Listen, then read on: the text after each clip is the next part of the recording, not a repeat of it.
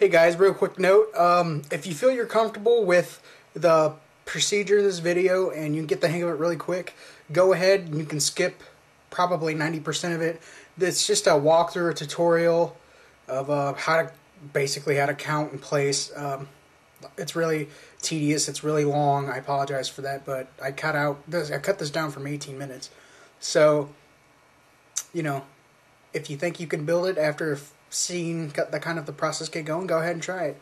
Uh, I think the final part's probably the most important, which is coming up next. So, uh, thanks for watching. Whenever you're dealing with these boards, the from this side to this side, it's square, so it's 29 pegs across. You always want to start in the middle um, if you have any type of sprite that you know is going to fit on a 29 by 29 board. Because if you run off the edge, you're going to get upset. Trust me, I've done it a few times. It's not fun. So always start in the middle and ma make sure that your sprite's going to actually fit. Um, sometimes, if they're bigger designs, what you want to do is find the flattest surface on each side and count them all the way across. And if this is going to be uh, more than 29, it's not going to fit on one board. So then what you would want to do is simply take this little connector board, the other board, it's got a little slot in it, you line them up, and you just put them together. They just snap flat just like that. Now obviously the best way is going to do this is to have four boards, but if you're you know worried about cost and you want to keep it under, if you want to keep it around 20 to $25 to start with, then you're just going to do two boards. That's why you should also do um, small designs to begin with. what you want to do is take your bead, it's just literally a bead, a little short bead, as you just want to place it on the board. There's one. Sometimes you will have trouble, they'll fall in between the spikes. There's two, there's three, there's four. Five. Whoop. And you also have to be careful too not to knock them over like I just did. So there's six right there. Congratulations, you've got your first line. Although it looks nothing like that now, I guarantee you just take your time and you'll be surprised how quickly this actually comes together. Also, when you're doing this, make sure you have enough light. If you don't, some of the bead colors actually do blend together and look a little bit the same. Um, from here, I'll just give you a I just give you a quick tutorial on how to do this now. This is where it gets a little tricky this is the pegs on this picture are going to represent the same thing as your board. So by having these six here, what you want to do is now you have to count. There's a black one. Now there's one or two ways you can do it. You can count one space over and go down one, or you can start off with this black one and count one space down and go to the left one. Either way, you're going to get the same result. And you, because this is so symmetrical and so easy, you're going to do the same exact thing on both sides. You're going to count one down and one over on each side. You're going to place the 2 on that line. Then from the the furthest one, you're going to count one down, or one across and one down. And then you're going to count one down, one over. And then from that one, you count down one and count one over. A lot of the time with the 8-bit characters, they're going to have a black outline. I personally prefer to do it that way first. You can build from the inside out, but this way you know you'll have a border to work with, and then you'll know that those are the spaces you have to fill in. So now, just like on the, uh, just like on the picture, I'm going to count down one from that black one. I'm going to count down one, and then one over.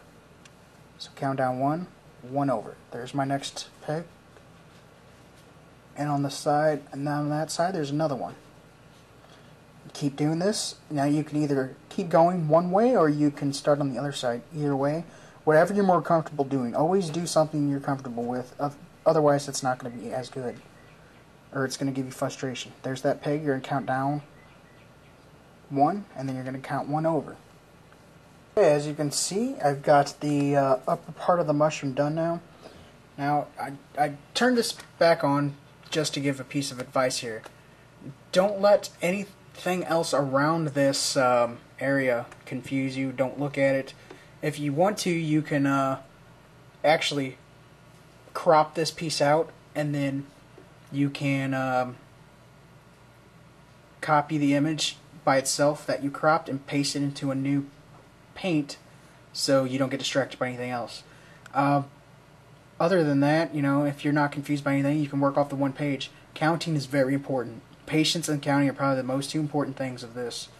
Um, like I just shown, I got the outer line of the top part done. So what you want to do, the easiest thing I do is just count over to do start the bottom. One, two, three. On the fourth one, you're going to put your next one to start down.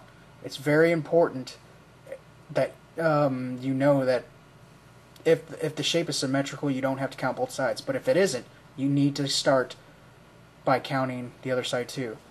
That's where I'm going to start my next one. One, two, three, four.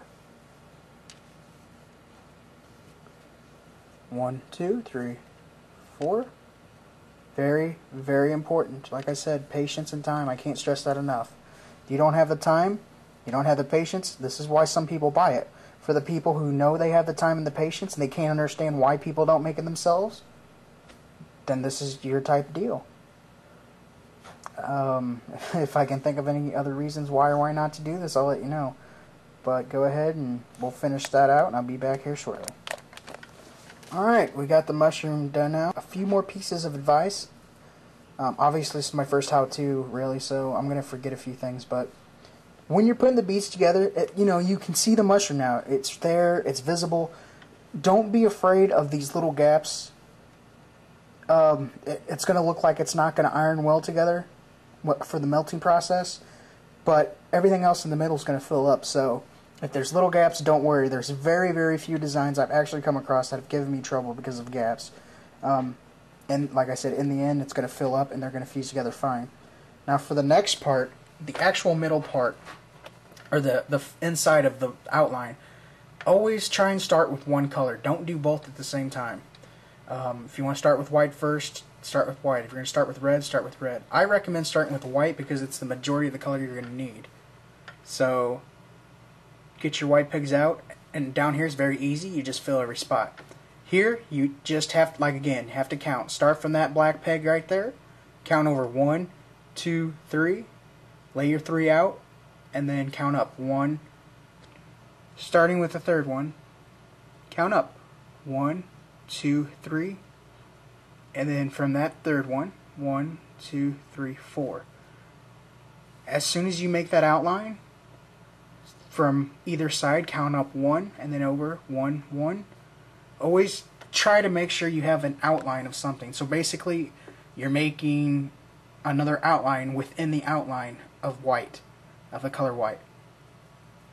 Um, now, as soon as you got that outline done, I'd go ahead, just finish out the whites. Start from that black peg from your picture, count over two, fill it in, you know, fill them in as you go. On this one, uh, the easiest way to do is find the corner and just go straight up and count down from wherever it lines up. So from this second black one on the top row, count down one, two, then start your white. And then just start out your outline there. From that first white peg, count over. That's the first peg, two, three, four. Count over five, but then go down one for your next white. Go down two. Count down one, and go to your left to start one, two, three, four, count over one, and then start back up with one, two. After you've got down the first color completely, there's no more counting. It's, then it's just the other color. You put in the red and it's over. Alright guys, I'm just finishing up my uh, red section. Another thing to bring up is make sure you have the appropriate color to finish your design. Um, otherwise you'll have to improvise like I did.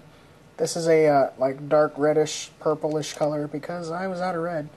And there you have it uh, with uh, oh, with uh, all all best luck and with some hope and uh, some dedication, you will get your first bead design done. And uh, because of the pegs, it makes it look like it's 8-bit. Hope you're sticking along with me. Um, Next part is uh, probably the hardest, for me anyways, is the ironing. Uh, melting it together. See then.